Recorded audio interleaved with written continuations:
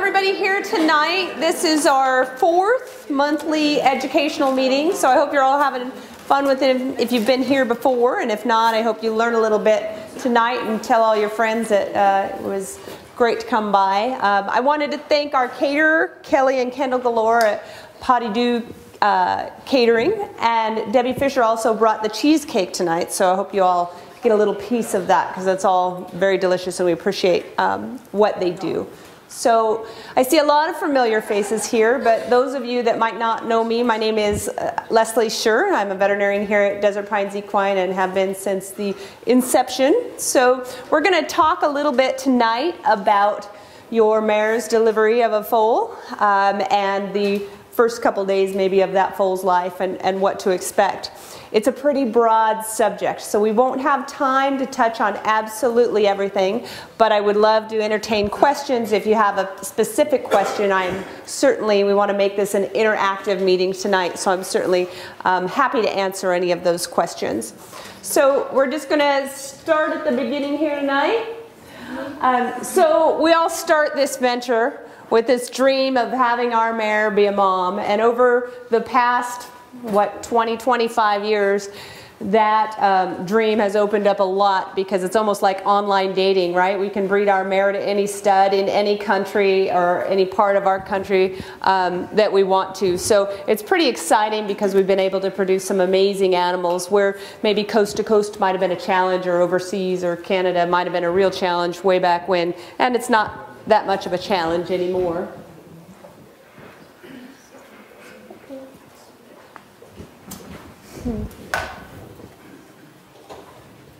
So you've studied all the studs, you've selected who's going to be the perfect dad for, for your mare, and you're thinking into the future of what an amazing cutting horse, jumping horse, barrel horse, pleasure horse you're going to have, and you've already planned that future. So we're going to just help to get you a little bit more educated so we can get the foal here safely on the ground, make you aware of some of the things that can go wrong. Thank goodness in equine deliveries, 90% of them are uncomplicated, but the 10% that are complicated can be very, very life-threatening. So we're going to just try and make you aware of some of those situations.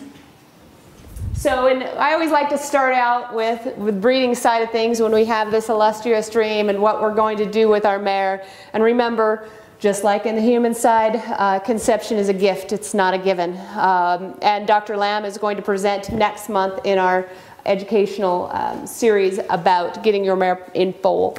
So he's going to touch on those. I'm not going to touch on it, but just want to make everybody aware of that. So if you do have a pregnant mare coming along, yeah, you've been very blessed because they don't always get pregnant. So this is just a picture of where we go from. The, the picture on the left is actually an ovary. So that big black circle um, has an egg inside of it. And a mare, through her estrus cycle, that, uh, that follicle will grow and then become the dominant follicle. When the hormones change, the black hole will rupture, shoot off an egg, and if we're lucky enough, the semen that's in the mare finds the egg, and on the right at 13 days, this little tiny dot is your baby. So that's exciting, that little black circle there, and you see the little white, um, I have a pointer, uh, sorry. the little white things at the top and the bottom, we call those specular echoes, and that's where we're starting to have some dividing of cells. We like to check these mares very early. Anybody know why? Twins. Twins, right? So twins don't do well in horses. And unless we're flushing embryos out of them at seven days, we don't ever want to wish a twin. And so there's some things we can do to help follow those along or possibly eliminate one twin so we can actually have a surviving foal. When we get too far down the road, um, there's not a whole lot we can do about it. So. So I just thought this was the coolest picture. Maybe some of you guys have seen this before online, but that's um, a, a picture of a fetus, and I think it was, I think it said 65 days. I thought it was just an amazing, amazing picture.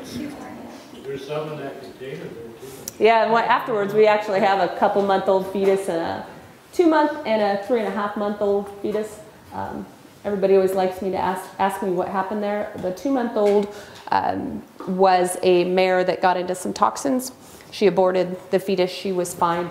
unfortunately, the second one, um, the mare was a colic and had passed away. So that's what those are. But it just gives you an idea of we want to feed our um, feed our mares a whole bunch of extra food, and at a couple months of age, that little baby in there is all it is. So you're welcome to come up and take a peek at these um, afterwards as well. So gestation in a mare it can be variable, but usually around 340 days, which is 11 months um, and one week. We have had normal foals as early as 320 days, and we've had some mares go over a year. So it can be a little bit of variability in that. So the countdown, right? We're getting pretty close to having foaling season upon us right now. We expect to probably see our first babies in the next couple weeks here. So one month prior to your baby coming on the ground, we like to see those mares.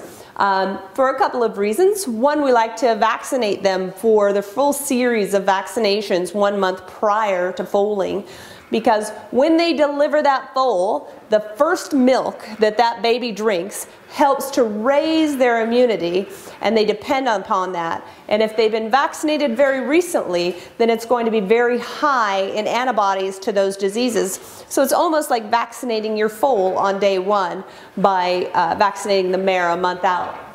Um, some mares may have had a little bit of problem with a uterine infection or they may have poor vulvar conformation, meaning unfortunately mares defecate right over the top of their vulva and if they tilt or aren't quite right, sometimes we'll actually sew the top of that vulva down.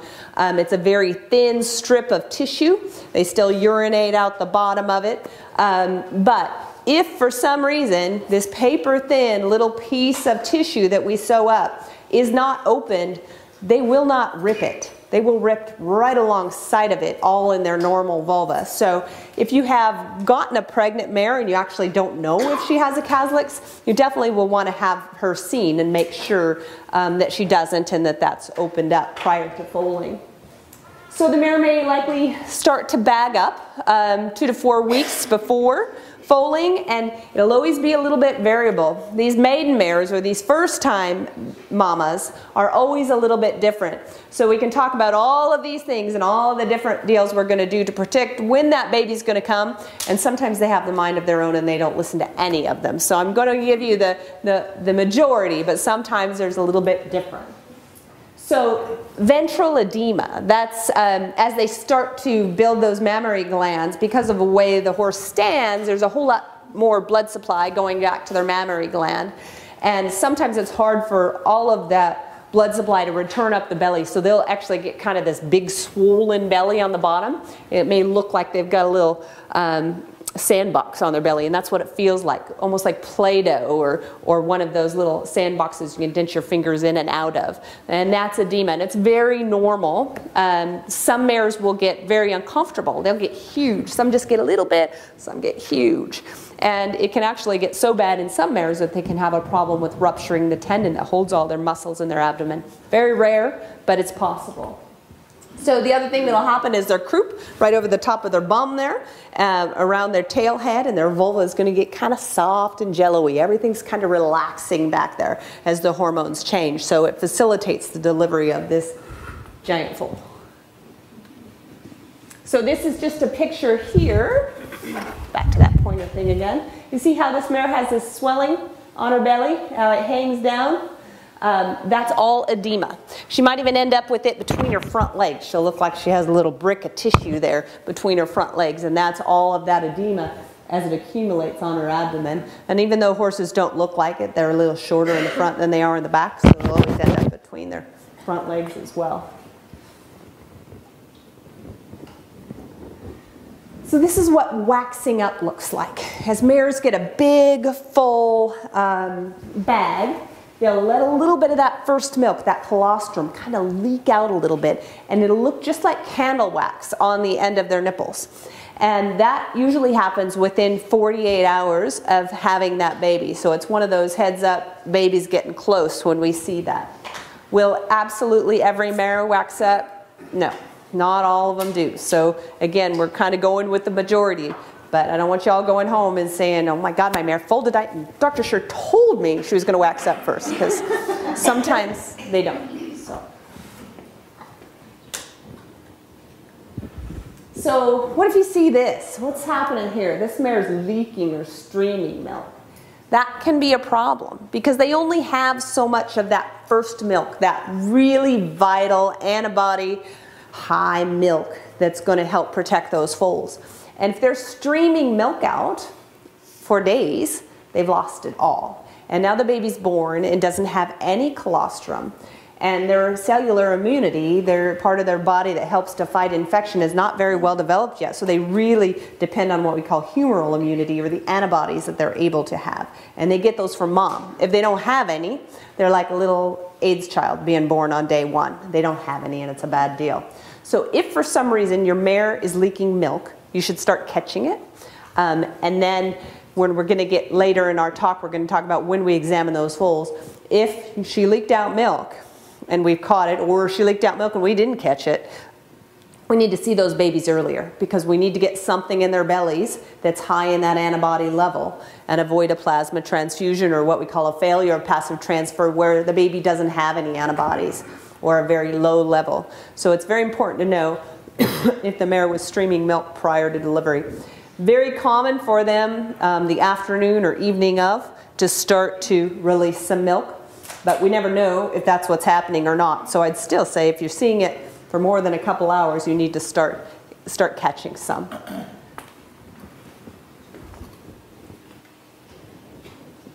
So we're closed, she's waxed up. Um, we've got that softening of the croup and the vulva. And there are a few other things we can do to help predict um, if that foal's coming. There are some simple commercially available kits. There's a bunch of them out there. Predict-A-Foal um, is a pretty easy kit to use. Um, Dr. Lamb and myself are able to use it, so that means that it's pretty straightforward. We had one years ago and we pulled it out and we were going to test a foal we or a mare we had in the clinic and we couldn't do it. So we were we said, if we can't have problems figuring this out, we probably can't expect our clients to. This one's really simple. Um, so we like this. Now, it gives you a percentage, um, a probability that the mare is going to foal within 12 hours. And some, again, don't play by the rules. So I've had people say, oh my God, this thing says it has a 95% of probability for the last two weeks. So what, when is she going to full? Um, and so it's not 100%, but, but they're relatively accurate. And it'll measure the electrolytes and the minerals in the milk that help determine when they're going to get close. One of the very, very simple things that, you, that I've always noticed as well is when you're just testing that milk, and you see it kind of as a creamy yellow color. That's usually what that colostrum is and, and that early kind of waxy stuff is. The night that you go and test the milk and it's white, you're probably going to foal. So it's, it's making the switch at that point. It's a very simple minded way to test. So how are we going to where are we her? It'd be beautiful if we had a nice green pasture, but most of us don't have that situation here, nor I don't know that it would be the best in, in the desert with our winds and that. So we want to make sure the stall is big enough. Probably a 12 by 12 stall, unless you're foaling out a mini, um, is not ideal. You'd like to have something a little bit bigger. 16 by 16, 20 by 20 is great, just so the mare doesn't um, invariably foal into the wall and, and have problems. A lot of us here have corrals, right? Just some outside pens.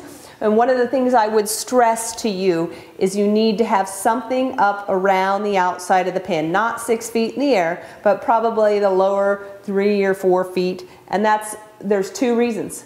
One, you need to keep the foal in.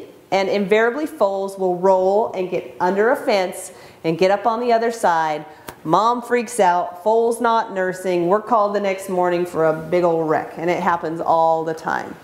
The second thing is, I don't care how sweet your dog is, um, dogs get in, and sometimes they're not used to, to foals and they don't know what to do with them, and, and certainly um, probably every other year we have a, a dog attack and somebody loses a foal. So whether it be yours or the neighbors or something wanders in. So it's nice to just have the fence high enough that the dog likely cannot get in there with the foal. And cameras are amazing and so easy now. Um, anything from a baby monitor that you can put in there to, we have these great things here at the clinic that I just pop up my little DVR on my iPhone when I'm home when I need to check a horse that's in the in our ICU. And, and you can do the same things at home, and they're, they're relatively inexpensive um, on the big scale of things if you think about losing a foal. Um, being able to put one of those little cameras up in your, in your barn. So they're sure fun to have too. But you have to wake up in order to look at the camera.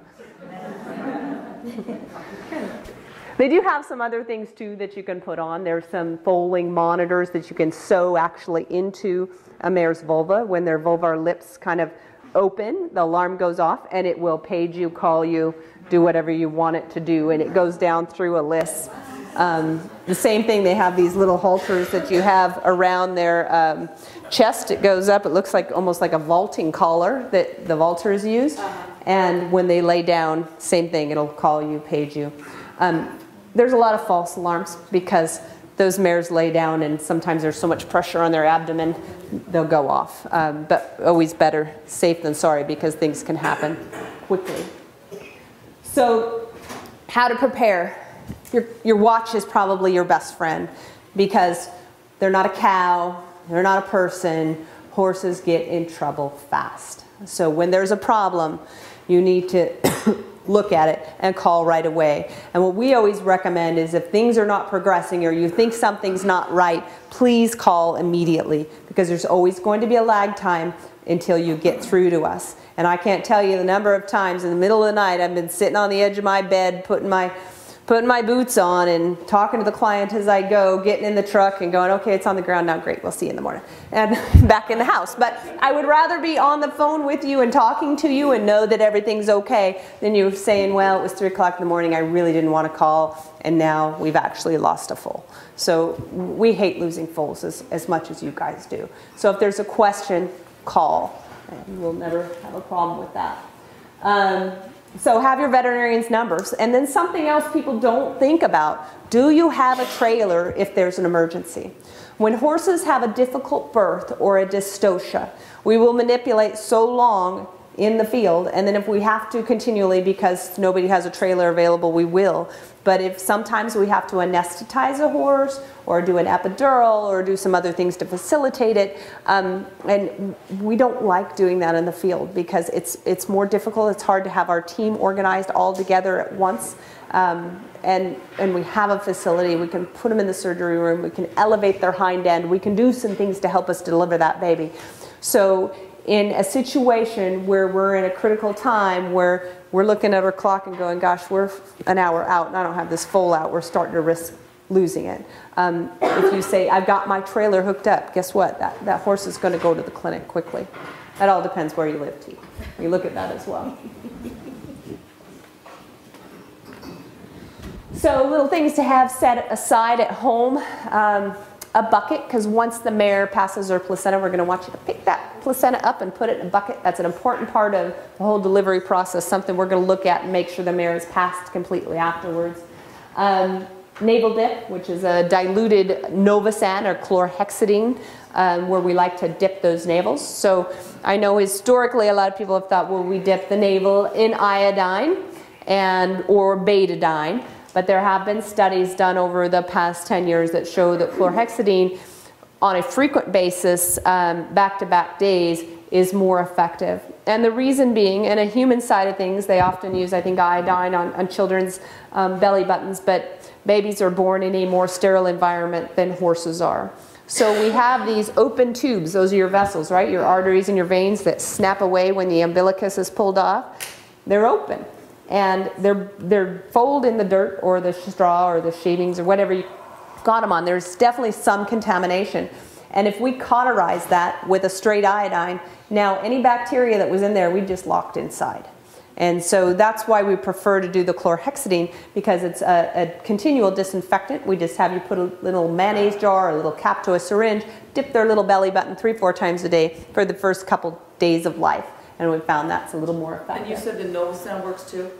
Yeah, Nolvasan is chlorhexidine. Okay, chlorhexidine the, the ratio? Is that a one to three? Four, four to one. Four to one. Mm-hmm. Four parts water to one part. And we find that if you do it with distilled water, it lasts better. Normal tap water kind of sediments out of it.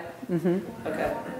And then dry towels, if you need to stimulate that foal or dry it off, if the weather's kind of chilly, you can use those as well. So, I thought this mare epitomized the view of a pregnant mama. And she looks relatively happy, doesn't she? I don't know that I would be, but I think she is ready to have this baby. So let's talk about stage one. So stage one can be a little confusing, right? Because these mares are starting to get crampy. What's happening is the uterus is contracting and it's pushing the fetus into the cervix. Um, but the mares will just act a little anxious, a little crampy, maybe up and down, a little sweaty. Um, and those can also be signs of a colic, right? So just because they're at a full due date, if that's persisting and persisting, we should at least get a phone call and let's visit about it. The other thing is that mares, sometimes we get a mare that is a little bit more crampy than another one and she hurts more. And this can go on for weeks. So I've had people for weeks and weeks just call and we've had to go see them and we check them and then they do it again. And I'll tell you a little funny story. A good friend of mine had a mare just like that, and it went on for probably three weeks. And I, I probably in that first three weeks went, I don't know, three or four times to see the mare. And never was she foaling. She was just crampy and uncomfortable. And everything was fine. We'd ultrasounded her, we checked it. The fetal heart rate was great. The cervix was still closed. Um, and so I was just driving home one day, and I was visiting with her on the phone, and and she told me, yeah, she was still at it. And I said, well, I'm just going to stop by. She's like, I'm not paying you another dime to stop by. don't come by here. I don't, I'm like, no, I just had something to drop off. I'm just going to come by. She says, oh, okay. So we come by and uh, we're in the barn aisle and I'm visiting with her and I'm watching her and she is back at it again. And she's like, her husband's like, she just keeps peeing all over the place. I'm like, oh, huh. Don't think that's pee, you guys. and finally, she had broke her water, and just by happenstance, I happened to stop by, and she actually had a leg back when I was there, so it ended up being an assisted delivery. Um, so, you know, those things can be tricky because some of those mares will just be crampy, but I tell you never to discount it. Um, we had a nightmare case last year that was a mare that was a dystocia. She had, um, she presented in labor, but very painful and very uncomfortable. And she had her um, her membranes present at the vulva, and I manipulated her a bit, and I, I finally said, you know, we're not going to get it here. We threw the mare in a trailer. We brought her to the clinic. Um, and we manipulated her some more. We couldn't get it. We took her in for a C section. And as we opened her abdomen, her colon was massively gas distended. And this poor mare, not only did she have a dystocia and have a problem with delivery, but she'd actually twisted her colon. And it was, it was a nightmare. I'd never seen that in, in all the years. But so we can't always discount the pain. Mares do it, yes. Mares get painful. Sometimes it goes on for a long time. But I don't think we should ever just ignore it and say everything's okay, because it's not always okay. So this stage one of labor, that anxious, kind of uncomfortable up and down, um, those horses can do this for a couple hours, or if you have one of those other ones, maybe a couple weeks.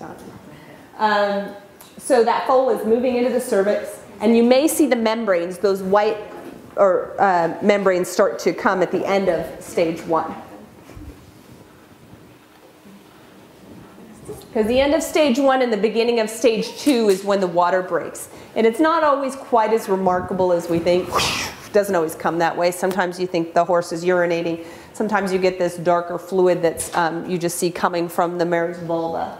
So the mare will start to um, have some issues lying down, maybe a little bit of an abdominal press, and you'll probably see a little bit of this amniotic fluid start to come out. And you'll see a little bit of um, sweating often too. Delivering these babies is not easy.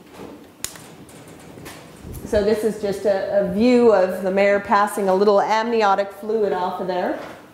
So stage begins with the abrupt uh, rupture of those membranes. But again, like we talked about, it's not always quite as spectacular as, as we would think. You may see that dark fluid kind of come out um, and then you may see the, the membrane. So if you've ever seen a full born, and if you haven't, you're going to in a minute here, um, you may see those white membranes kind of present at the vulva. The, the baby is going to have its membranes over its nose and its head. You don't have to get in there and rip those off. It's still attached by its umbilicus, still to the placenta, so it's still getting oxygen up through the blood that's coming into its umbilical cord.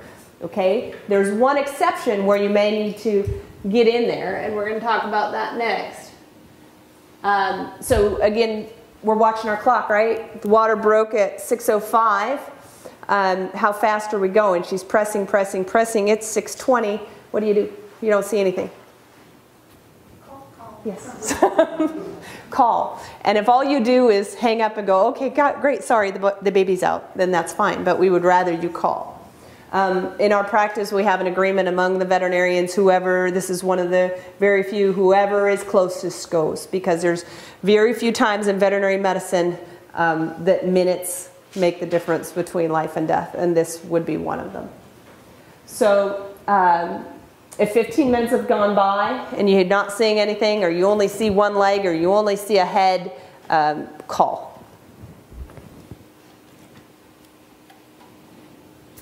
Um, so this is a picture here up top of what you would see as they start to deliver. I hope you guys can all see it, but it's kind of this white filmy membranes that's over the top. That's those chorioallantois. That's what the normal fetal membranes that should be covering that foal. So it's in this like double ball sac, right? The, the outside sac is the placenta. That's what this red ball is right here. This is what we call a red bag delivery or a placenta previa the placenta has prematurely let go from the uterus and it hasn't ruptured. There has been no water broken here yet because they were supposed to poke a hole in this thing on their own as they come through. If you see this, this is something you don't wait. It needs to be opened immediately because the foal is going to suffocate and die. Um, because now the placenta has let go from the uterus. There's not the normal oxygen load that should be going up into the foal's blood. It can't breathe because it's inside with a bunch of membranes and fluids all over it. This is uh, an emergency, what we call a red bag delivery. This next one might show it a little bit better. Um, this is just, it'll look just kind of this red velvety looking bag that's coming out. It's pretty tough. I mean, I don't think we want you to take a huge knife to it, but you may have to get really kind of stab it um, through the end in order to get open, get a little hole, get your fingers in there and rip it. From there, you just leave them alone. Um, they will then present those, a bunch of fluids, so you're probably going to get wet if you have to do this. It's pretty stinky. Um, but then you're going to have those fetal membranes and things come through there. This foal will die if it's not opened. I have had mares foal um, quickly with a red bag, meaning I'm going to push, I'm going to push. Owner sitting there, crap, I have to open that. And pretty soon there's this gigantic red bag it's born in the placenta. And they're really get it out because everything's let go and the foal's going to die in there pretty quickly. So you got to get it open. Don't wait, don't call, get it open. Well, call, but after you get it open. so this just goes over um, some positioning of the foal as it comes through the pelvic canal. And often we'll get people come in and want to know, is that baby in the right position? Well, babies turn as they're delivered. We're going to have a slide here in a minute that kind of show, show us. So when we palpate the uterus a day out or so, we can't tell if the foal is going to be exactly perfectly right because it's still going to go through some changes. If we got butt first, that's a problem. But um, things change as they deliver. But in a, a normal uh, delivery, you're going to have one leg a little bit in front of the other and a nose jutted out straight. So this is just a schematic of what's happening here. Um, this was experimental when they gave some oxytocin, which is the hormone that makes the uterus contract, of what happens um, with the baby. So this is if you're standing on top of that baby, looking down at it here, okay? So it's actually upside down, right? So 13 minutes after the first dose of oxytocin, the baby's head goes under and the legs go out and then it starts to give a little bit of a twist. It turns, so now we've got a head forward and the legs coming forward, but the back end's still upside down. That's at 21 minutes. Then three minutes later, the back end takes a turn. Another minute, the back legs go out straight, and now we're kind of in our normal position. But that's what happens during delivery, is that oxytocin level goes higher. That foal takes its little twists and turns and gets into where it needs to be. Um, so this is looking from, if you're standing on the left side of the mare, so the mare's head up here, and you're looking here, the hiney's out this way. So that's just showing you that the same thing again, the way that the foal turns and uh, positions up for delivery.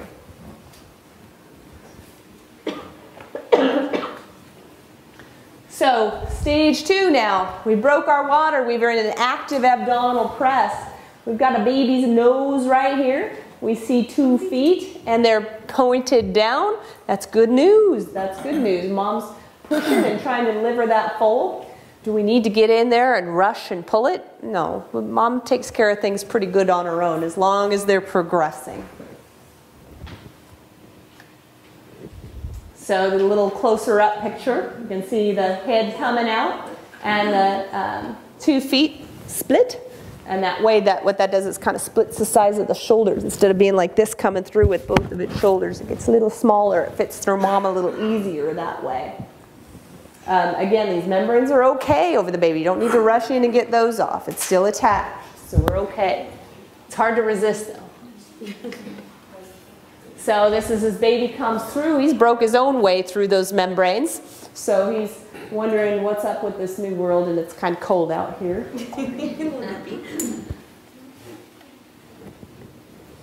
and as we pass, now we can see, you can see the placenta here. It's attached still up within the mare. And the foal's just trying to right itself and figure out what's up in the new world. So congratulations, Mom. We've just delivered a baby. And we are now at the end of stage two of labor. And there's actually three stages of labor. Yes, Dr. Lamb? I, you mentioned it just in that parturition of the delivery right there, the difference between shavings and straw. Oh yeah, I messed that up there. Good idea. Thank you. Um, so, a couple reasons you see straw in this stall it's better to foal out on straw. I know it's messy to clean, it's not as easy, but there's a couple of reasons. Um, one, it's very common uh, to have problems with shavings getting in foal's eyes and having corneal ulcers and problems that way. Um, again, it's, it's more focal um, moisture in that too. If the foal ends up in a soiled area, this kind of spreads out a little bit more. And then as they get a little bit older, um, the foals love to eat shavings. And we've had more than one foal on the surgery table with a colon impaction because of shavings. So they don't seem to, you know, until they're old enough to digest, don't eat the straw as well. Also better um, for the respiratory system. Shavings are a little bit dusty and they'll inhale some of that stuff. So straw is ideal. Uh, one more thing, when that light membrane on these bears after they fold, they'll stand up and they can actually pull that back up in. Mm, have shavings hooked to it. Shavings are a lot easier for her to pull it up into her vaginal cavity into the uterus. Straw will pull it in easy. Right, so A that. lot of them just pass through after birth, right when they fold it. A lot of them don't, they stand up and take the shavings back inside. Good point. So, quiz time. So, who breaks the umbilical cord on the foal? A, your trusted veterinarian. B, the mare. C, you acting as the on site midwife. D, the foal. Or E, either E, oh, sorry, B or D.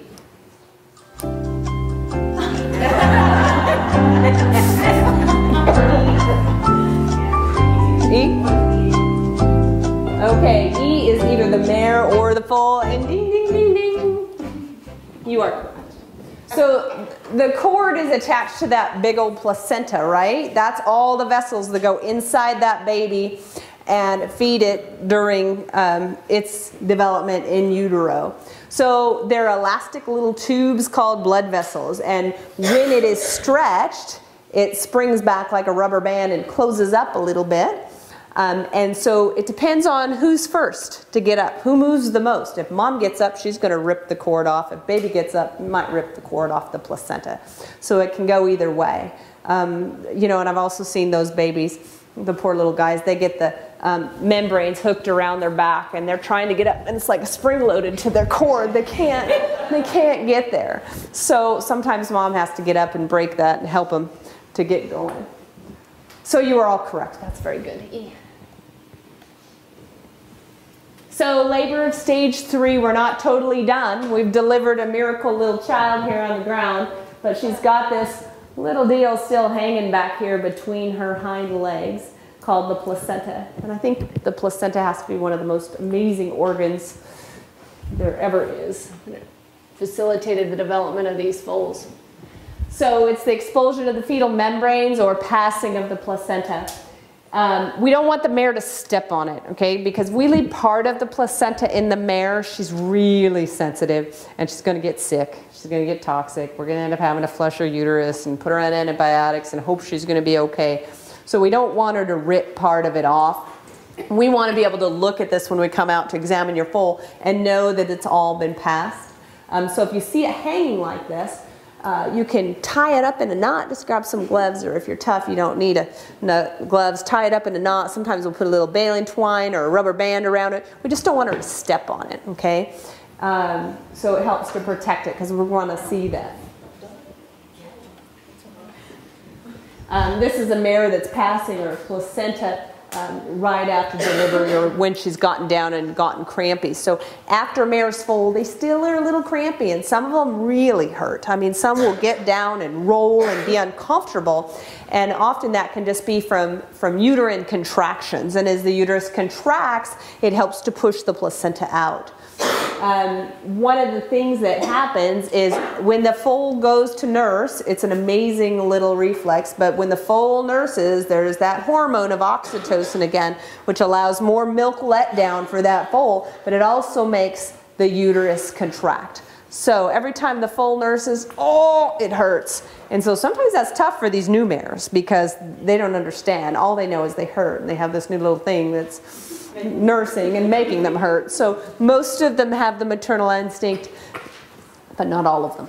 So we recommend that you call the office if the placenta has not passed within two hours. Um, we don't consider it a retained placenta up till four hours, but sometimes, again, there may be a little lag time, or some of the mares we know that have had some difficulty, we might even have you come pick up a shot of oxytocin, which is an intramuscular injection, which will help kind of contract and pass that placenta.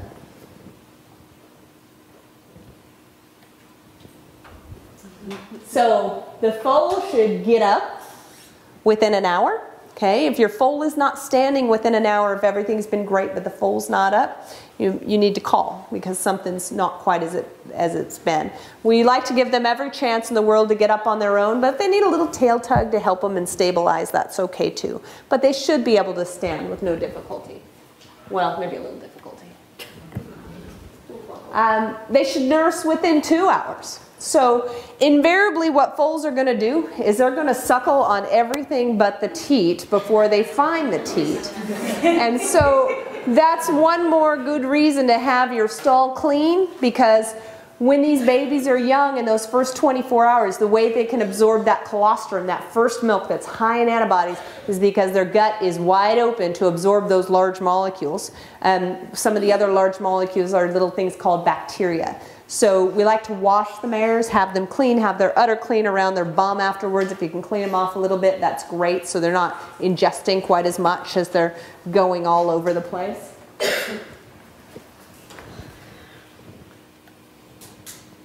So it's the one, two, three rule, right? They should stand within an hour, nurse within two hours, and placenta within three hours. Again, I told you it's not really retained until it's four hours, but we don't like you to get there, so we'd like it to get out of there. So if everything is good, you got a normal, happy baby on the ground, it's nursing, mom's passed her placenta, everybody's happy, then we like to examine those foals and mares at about 12 hours of age. And the reason we wait till that 12 hours is because we do a very simple on-site blood test to check and see if they absorbed enough of those antibodies that we talked about that are so critical to their immune system early on. We have to wait till at least 10 or 12 hours of age before those will be high enough in the blood. So to avoid a second call charge for you or a second visit out that day, we like to, to wait that long. But if any of the other things don't happen, the foal doesn't stand within an hour, the foal doesn't nurse, the placenta is retained, or you think something's not right here, then we really want to see those babies right away.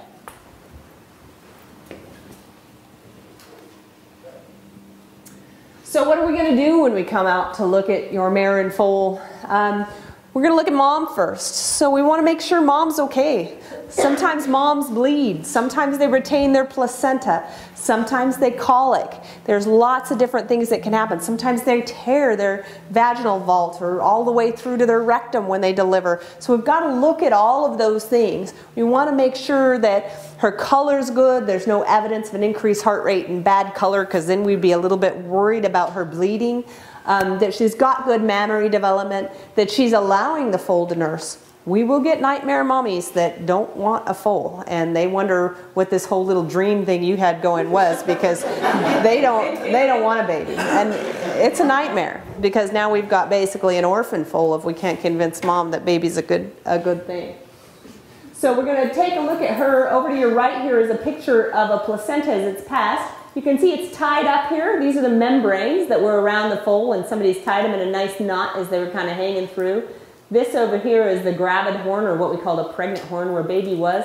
This would be the non-pregnant horn, and then the only hole that we should see in this placenta is where the baby busts out. So these are the side of the membranes that was against the baby. The red velvety side there was actually against the uterus and attached by millions of little fingers that hold each other in place that allow that blood supply to go through to that fetus and develop over time.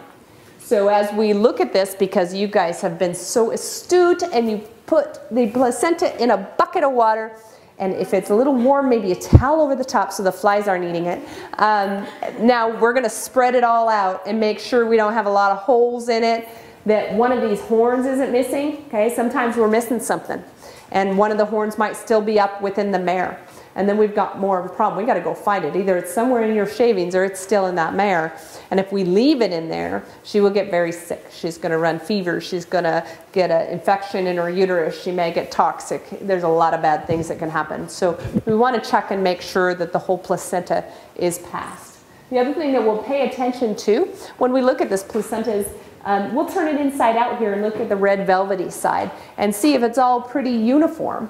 Or are there spots where there's really no attachment, it looks white? Or is there a spot that looked like there was an infection? Or is there something else in there? We've, um, we've found little um, twin remnants in placentas before over the years where we've had just a little skeleton that obviously died at a few months of age. So there's all sorts of exciting things can be discovered um, through the placenta, even though it's pretty gross. You guys always wonder what to do with it when we're done, but it is an amazing organ.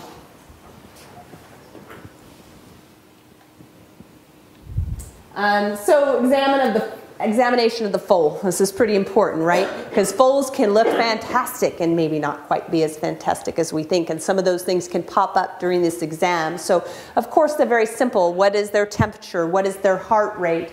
Um, how's their belly button look? Does they have a hernia? Are their legs straight? Um, very common for foals at delivery to maybe be crooked, way down on their fetlocks, way up where they're tipped over. Those things change pretty quickly early on, but we may need to monitor them, so we need to be aware of them um, early on in the process. Congenital abnormalities, those are things I'm born with a defect, right? Maybe my heart doesn't sound right. Um, maybe they've got a broken rib during delivery. We always look at their eyes when they're delivered because cataracts can be congenital, meaning babies can actually be born with cataracts in their eyes. And that's probably the most, the highest success rate in, in cataract surgery in horses is, is on neonatal foals, the ones that are actually born with them and don't develop them. Um, scrotal or umbilical hernias, holes in the midline, holes in where their testicles come down through their scrotum. You can have intestine present in there. So there's a lot of things that, that can be there that maybe we might, not, excuse me, might not have noticed.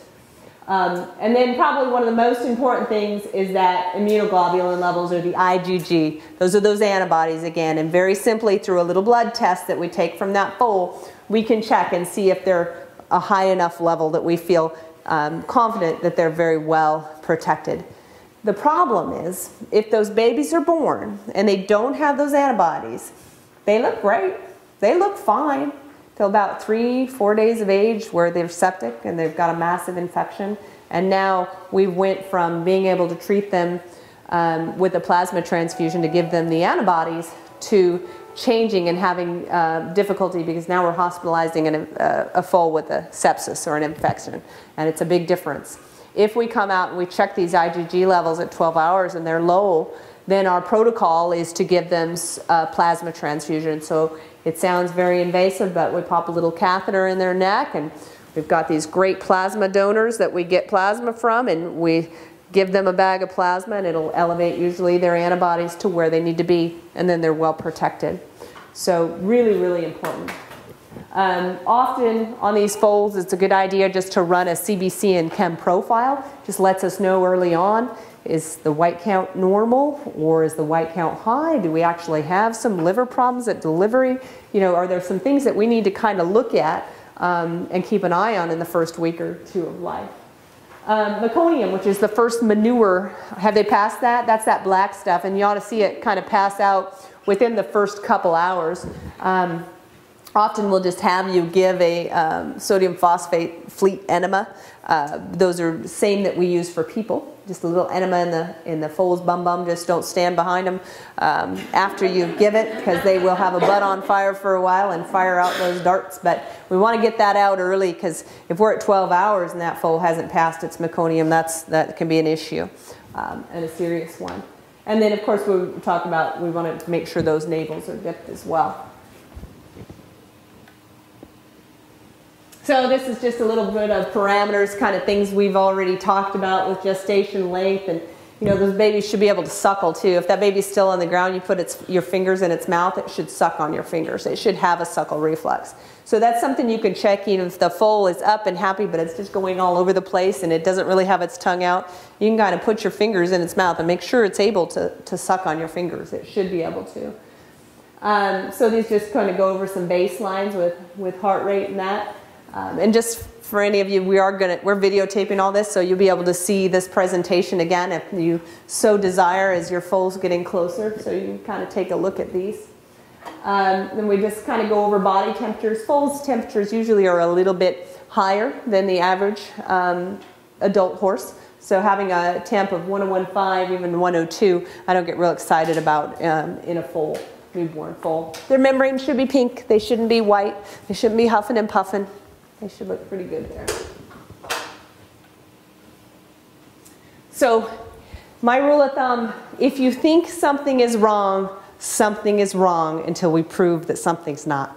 They're not an adult. They don't have till morning. We need to look at them. Babies decline rapidly. And I can't tell you the number of times we feel like we've heard well, you know, I thought he was a little off last night. And in the morning they're down and you can't get them up and mom's milk, milk is leaking everywhere and it, it's a nightmare. So rule of thumb on the neonatal foals that if you think something's wrong, let's look at them right away because ours um, cause a rapid decline because they need to nurse, they need to eat, they need to be mobile. And if those things change, they can take a rapid, rapid dive.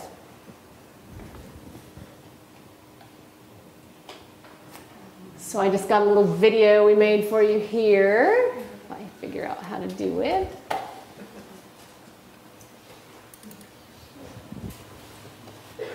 Ah.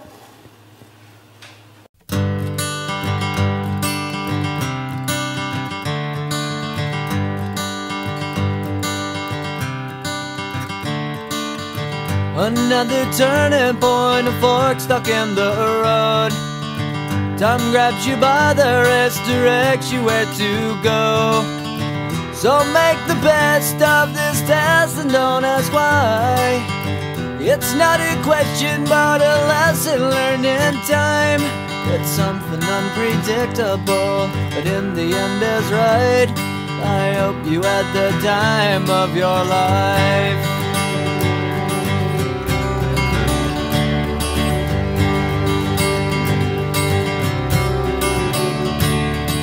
So take the photographs and still frames in your mind Hanging on a shelf in good health and good time. Tattoos and memories and dead skin on trial. For what it's worth, it was worth all the while. It's something unpredictable, but in the end is right. I hope you had the time of your life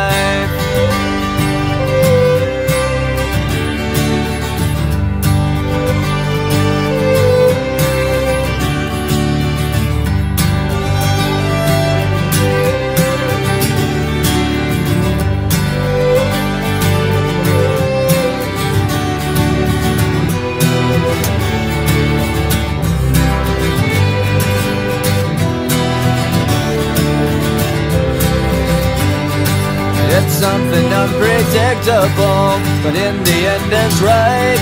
I hope you had the time of your life.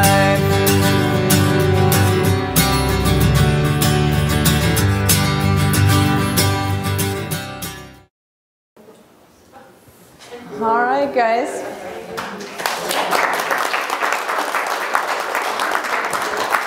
If anybody has any questions, I'm certainly willing to open it up for discussion. I do. Yes. You should know. I know. She's got her notebook out. I do, well, I had to write things, down. I had to remember. Is there a product that you give a foal that's recommended for the first seven days for the bacteria that they can get that causes diarrhea that you would recommend? Um, there's a couple of different ones. Epic would be a, a name if we've had problems with diarrhea before. It's, it's based on an egg yolk, actually, Okay. and it's shown to help um, prevent uh, bacterial infections early on, uh, more of diarrheas. Is that something you recommend? Uh, have you had problems with them before, or just for? Well, I haven't, but the problem is, is I live quite a distance away from any vet, Mm-hmm. and so you can never be prepared. It's certainly not going to hurt them. You know, it's not like you're giving them a drug that could pro- cause Okay. problems with their kidneys. That, that, or we have a probiotic called ProbioK. Same thing. You can give it twice a day Okay. um, as a probiotic. But Epic is a good one. And is that the, or, it's oral? And is. Yep. that something we can pick up tomorrow on the way out of town? You pick up the ProbioK. I don't have any of the Epic, Okay, right, okay. Epic right now. Okay, that would be perfect. Yep, absolutely. Let me see, wait, don't go. Uh, I know, well, when you live far from a vet, you actually have to have some kind Yes, of plan. preparation. Yeah. Um, If you have a mare that's kind of displaying uh, signs of maybe having a baby early, Mm-hmm. um, and you give her the vaccination, because it's, you're kind of estimating maybe she's gonna be early, Mm-hmm. what happens if she's late?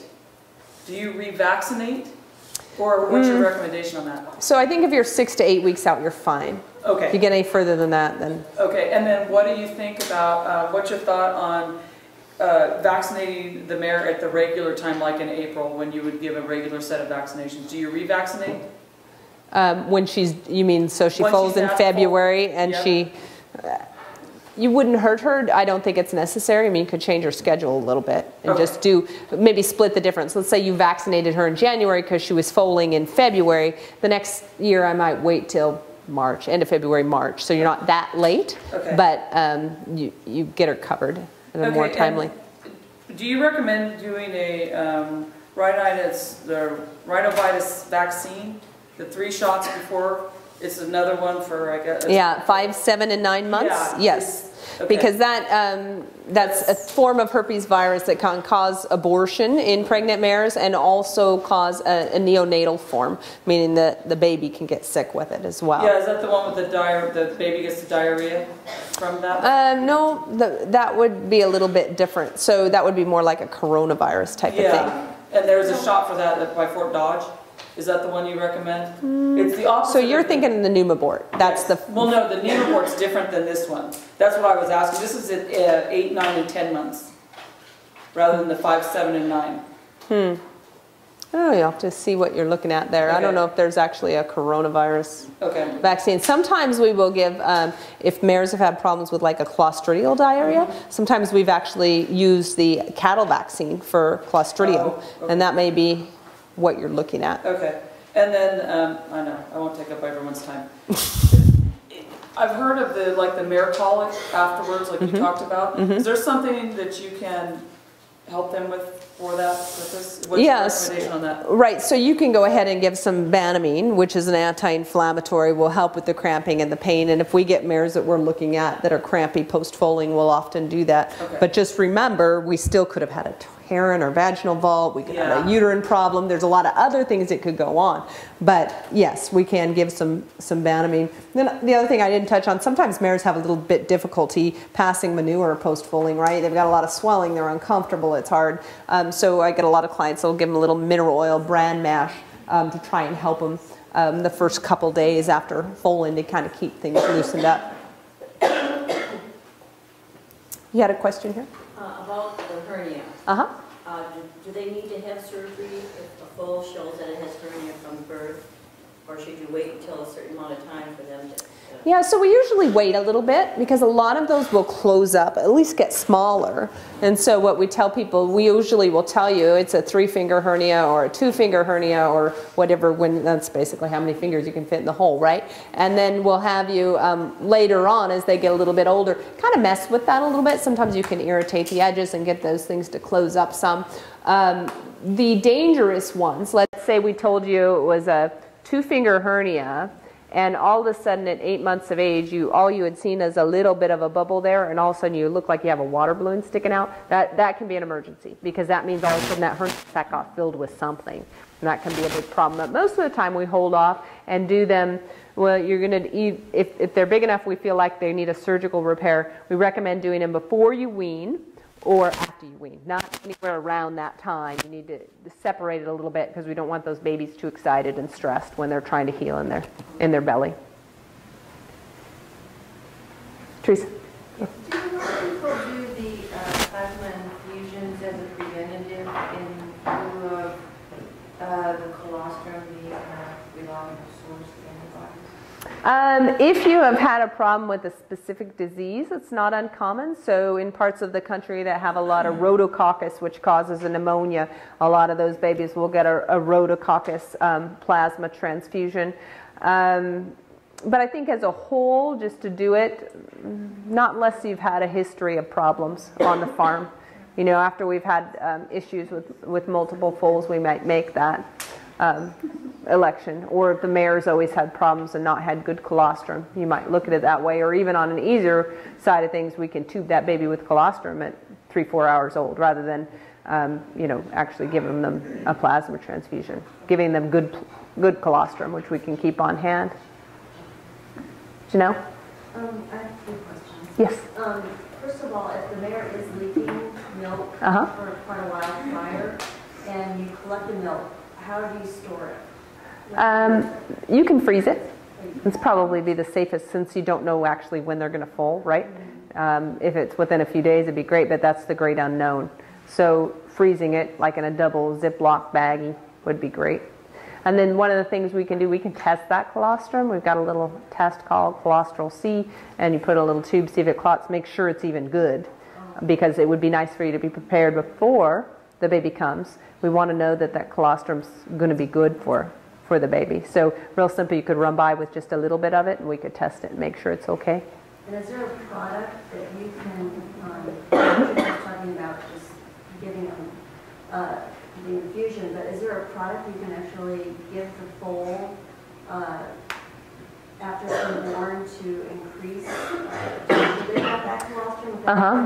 There's a couple of them. There's some. Um, we have banked um, colostrum from, from farms that we get from back in Kentucky, although we've had some difficulty getting it the last couple of years. Um, some good high quality colostrum, and you can come buy that and give it to them. Um, but we've also used an artificial colostrum called Seramune, um, and you can you can actually give that to them. And I've had a number of clients, you know, give them half a bottle of Seramune at, at two and four hours, or three and six hours, and it would be just a little bit of an extra insurance policy to get something in them. Pretty expensive. It's not that bad. No, I mean it's.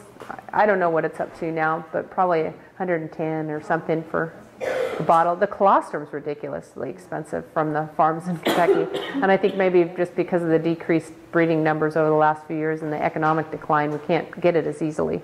So, But the other problems, after 18, 24 hours of life, they want to absorb it. but I have a couple more. if you don't mind. Sure. Um, and as far as the enema goes, Uh huh. um, say the foal passes meconium pretty, a pretty good amount, you still recommend just giving it as an extra insurance policy? And if so, at, at what point should you say? Um, I don't know that I routinely um, recommend it if they're passing meconium and they're happy. Um, you probably wouldn't hurt giving them a little bit. And I know a lot of times, let's say it's the middle of the night and it's you've been watching for two hours and they haven't passed anything and they're nursing and everything else is happy. A lot of those I say give them the enema so you can watch them go to the bathroom and you can go to bed. Um, you know, to make sure everything's okay. And the biggest thing with like a, a fleet enema or a sodium phosphate enema is we wouldn't want to give more than two in a day, let's say we were having problems, which I know we would see the foal anyways, but um, you know, you could definitely, if he's past meconium, in an hour or so, you could give it. There's no right or wrong magic enema hour, really. And um, do you recommend deworming the mare uh, anytime before foaling and after foaling? Yeah, a, a month out and on day one with a with an ivermectin product. Okay, so like before and then day one after Mhm. Yep, Thank you bet, you bet. Yes. Hey, for the stall, you're putting the straw in, getting ready for that baby. Is there something Um, wouldn't be a bad idea. Yeah, I mean, you can use a, a dilute chlorhec or a dilute Clorox bleach. You know, like 30 parts water to one part Clorox, um, and just wipe down the walls. Uh, you don't want to actually spray or use pressure sprayers or all that because then you just aerosolize all the bacteria. But just take them. You want to make sure all the organic matter, so you don't want any poop on the walls or dirt because it'll still live in that. But get all that washed off with soap and water, and then you can wash it off with just a little bit of dilute bleach. And the Nolvasan was the one to four, and you, Four to one. or four to one, for the Nolvasan's four, water one. No, water's Water- four. Water, Yeah. distilled water, right? Yes, uh-huh. Anybody? Yeah, That worming again, uh, a month before and and on day one. Yep. day. What would you use for that? Ivermectin usually. So, when uh, you see the milk coming out, do you, I mean, you said to catch the colostrum, you know, I know you don't run around with a tin cup or something, I mean, what's the method for that, and how much do you know that you need to get? You'd love to have um, four to six ounces to get in that baby. And, you know, I would really truly just catch it in whatever you got to Uh-huh. catch it in. I'd go grab a little Tupperware or something and just so catch it. amount. Yeah, you don't want to. Uh, some mares will really stream. I mean, some of them will sit there and get a puddle. You know, the mares that are occasionally leaking a little bit, I don't worry as much Uh-huh. about. Um, but the ones that are sitting there making a puddle, then that's a, that's a problem. Um, so I'll usually just in a Tupperware or something. I don't recommend milking them. Obviously, you want to leave what you can in there, and you're going to stimulate more oxytocin release if you try and milk them. Um, so you just catch it in what you can, and then put it in a Ziploc freezer bag. And then for the cleaning of the teat in the Mhm. bag right after birth, is there just soap and water, or? Um, probably again your little bit of Nolvasan and water, um, but soap and water getting the big organic matter off is, is a Oh, good thing too. And probably, you know, cleaning them before and then what you can. You don't want to get in there and push the foal off and clean their teats, but if you can and everybody's kind of taking babies over here, you can clean her off a little bit.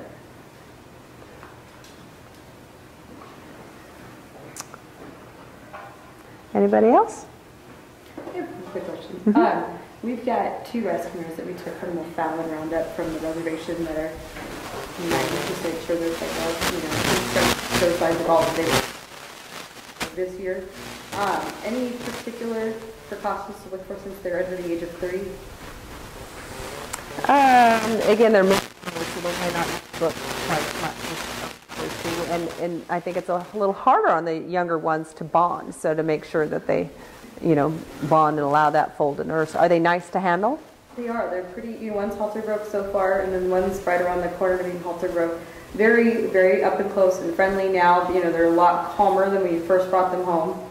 Um, we put them together with our broke mares so that they've got a lot more people interaction, safe for them.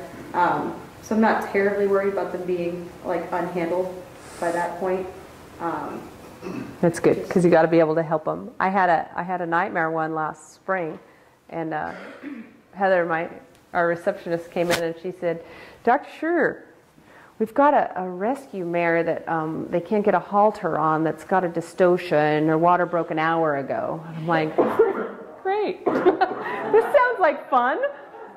So I showed up and I, I was trying to help them get on the mare because they couldn't get a halter on it or a rope on it or anything, and it was in this outside pen and it was running around. I said, "Well, we need to get a rope on it."